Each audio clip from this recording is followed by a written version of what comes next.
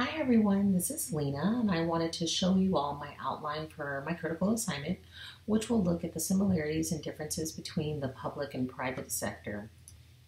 So I'll most likely start off talking about the birth of government, the Constitution, Bill of Rights, federalism.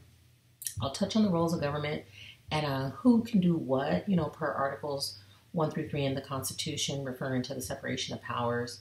I'll follow that up with Wilson's dichotomy and the separation between politics, and administration. Um, then I'll touch on some of these other individuals and probably start explaining the difference between a public administrator and a businessman, according to Appleby, uh, specifically the mindset of each. Then I can talk about decision making. The process uh, is different, you know, between the two sectors, specifically how solutions are already, you know, available on the public um, public sector side and looking at the best solution to fit the problem or vice versa looking at a problem to fit a solution that's you know already had. Uh, i'll touch on the garbage can theory root branch method of policy making i'm not really sure if i'm going to uh, format my paper in like a chronological fashion to show how the growth of public administration as a whole you know has developed over time or lump my theorists together.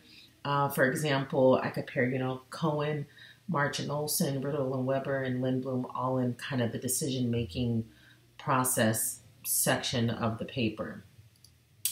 So, for sure, I'll reference Allison quite a bit uh, since his article focuses on viewing the public and private sectors and looking at the importances and the, you know, the likes and the differences and different things like that. Um, outside of Wright, a lot of these individuals on this last page we haven't quite covered yet.